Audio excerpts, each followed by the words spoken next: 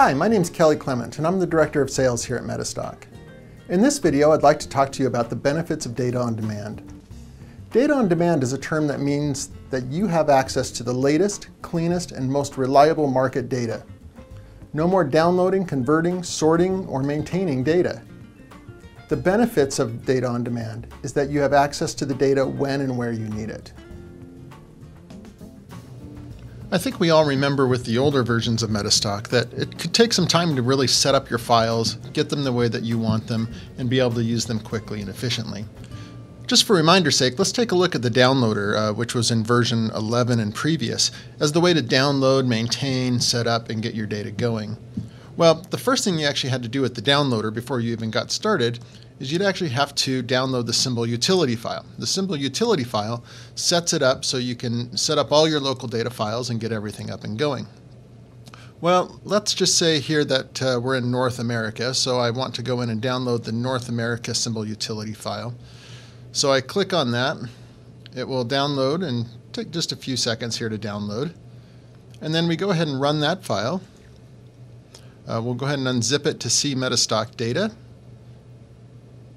and then it unzips and it sets up the, fi the file structure the way that uh, we had set it up uh, based off of North America.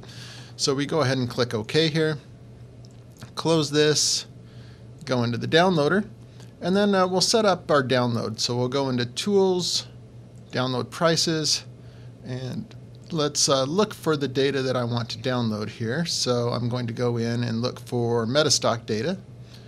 And then I can put in all the files that I want to, to have downloaded. So if I wanted NASDAQ 100, I wanted optionable stocks, S&P 100, and I could select multiples of these to add them in, or I could grab and add in all subfolders.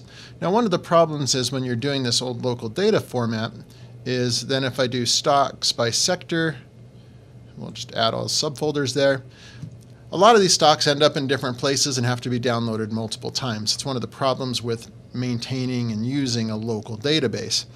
Uh, if I wanted to do the entire markets, um, you know, we could add those in. So we'll just put in the New York and the NASDAQ. And now I have all my files. So I've got down here 16,000 files that I need to update. And these would need to be updated on a daily basis if you're using uh, local data and not using data on demand. So let's go ahead and just click OK here. And it's going to go ahead and start its download. Uh, it'll start uh, and collect uh, the most recent date. Now, it's not yet actually market close here, so it's actually going to be grabbing yesterday's data because it's not at the end of the market.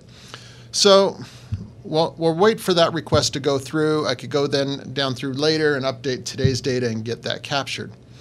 Now, while we're doing that, what we can do is let's uh, just pop over to Metastock 13 and let's go over and look at data on demand.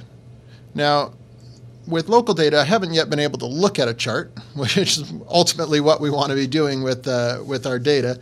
So I could just now start typing in uh, symbols and start pulling in the data that I want to be looking at. So if I'm looking at different charts, uh, obviously I can just go ahead and click those through.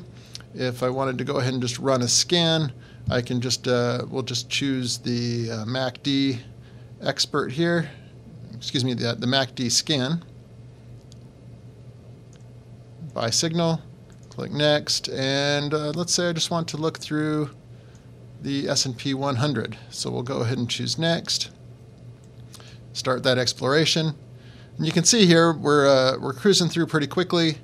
We've already got uh, our results done, reports, and now I've already got two stocks that I'm looking at. Let's just check it in my download here. Oh, still uh, looks like we're still working on that download. Uh, so let's go ahead and do some more here in Metastock 13. Now, if I want to, I can also turn on intraday snapshot bars.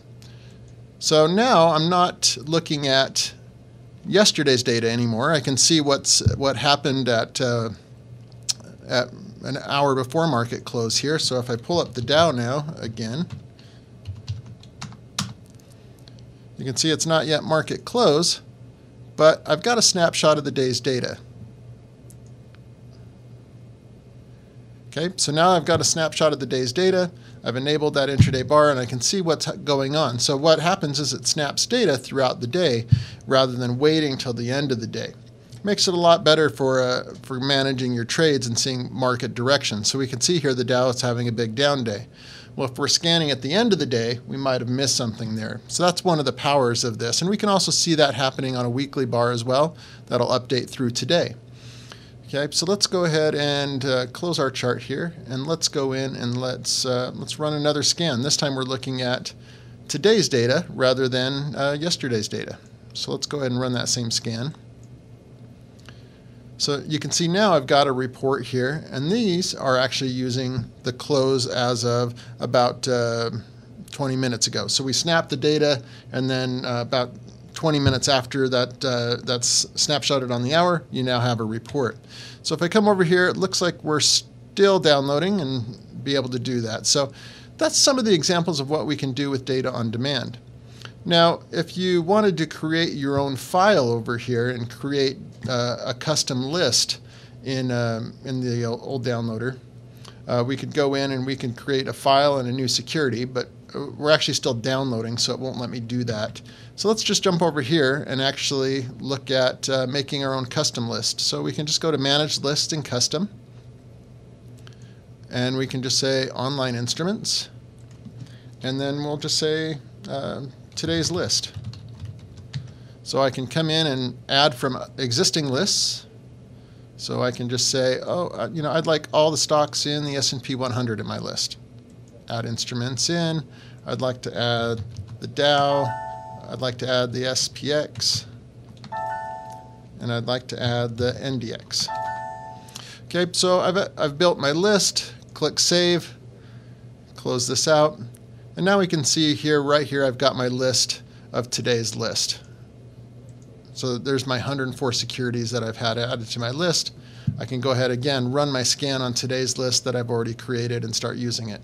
I can start forecasting, I can be scanning, and let's see how we're doing here. We're looks like we're in the A's right now on, on this. So now instead of managing that every day, we're not always going to be looking at every single folder and doing all this typically. But even if you are, data on demand takes the pressures after out of having to start a download, walk away, come back, and then being able to access your data.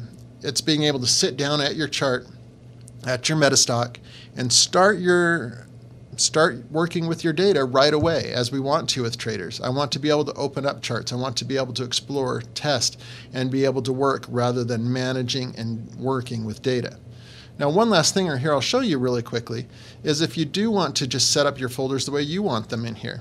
So when you walk into Metastock 13, there's all these lists that are available for you depending on what data that you track. So you can just come in here and say, these are the folders I choose to follow. So these are the folders I choose to follow over here. So you can add those in, take them out. So if I don't want the Warsaw Stock Exchange futures, I can take those out.